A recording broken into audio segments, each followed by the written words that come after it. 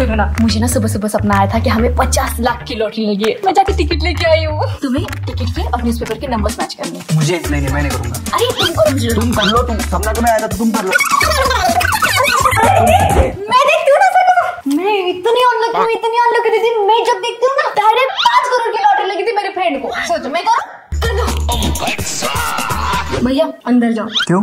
सवाल नहीं भैया अंदर जाओ। अंदर जाओ। लॉटरी तो लगी ही नहीं अब मैं क्या करूँ? अरे मुझे दिख, दिखा मुझे देख आगे देखो मुझे घर से फ़ोन आ रहा है मुझे जाना है मुझे परेशानी नहीं हो रही क्या कहेंगे पेन से लिख के चली गई है वो। पागल बना रही है हमें देखो। लग रही है आपको।